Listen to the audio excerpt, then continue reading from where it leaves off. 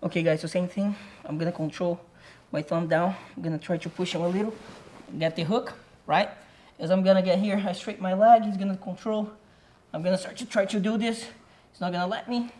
I'm gonna come here, try to pull him down, then pull the shoulder here, on the back of the shoulder like this, right? I'm gonna bring him to me to try to do the same move. So I'm gonna control the lapel here. This time he's gonna walk back and I'm not gonna be able to, to pull him to me. So my foot's gonna come to, my, to his hip again and I'm gonna take his, my leg out, look. Really simple. As I get here, I close the triangle. So same thing, gonna control Samir's lapel. I'm gonna push him a little bit, control his shin. He's gonna start controlling my knee. Even if I try to do this, try to break, he's grabbing too much on my pants. My pants gonna move and I'm not gonna be able to break it, right? So I'm gonna start to, to spin under him. My head between his legs, I'm gonna rotate all the way, right? Gonna pull him to me, then I'm gonna control his shoulder, try to pull him more. As I'm controlling here, he probably will let it go the, uh, my leg since it's gonna be too much pressure.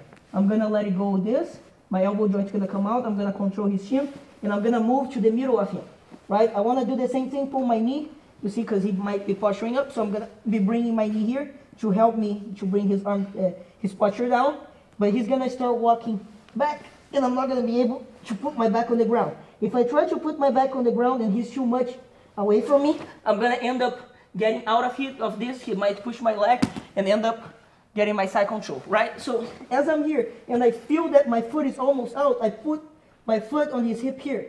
You see with my toes on his hip, then I'm gonna easily take my foot out.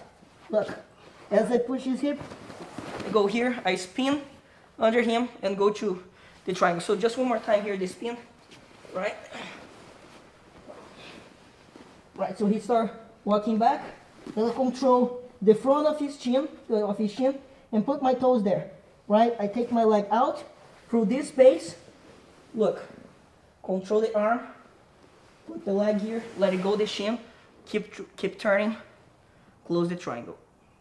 So same thing, control the lapel, push him a little, get the hook here. He controls. I'm gonna start to rotate under, put my head in the between of his legs, right? Now I'm gonna pull him to me. If I can't pull too much, then I switch to the shoulder. Pull the shoulder to me, use the leg to pull him more. Switch the elbow joint to the hand in the front of his chin, right? Then I'm gonna start to try to rock him to go, but he's gonna start walking back, and I'm not gonna be able to rock my body. I put my toes on his hip, and I take my leg out. So like this, and I put it here, you see? As I'm doing this, I keep controlling, I keep his shin until I put my leg here. As I put my leg here, I push his shin, let it go, and close the triangle. He's very tight, it's already very tight here.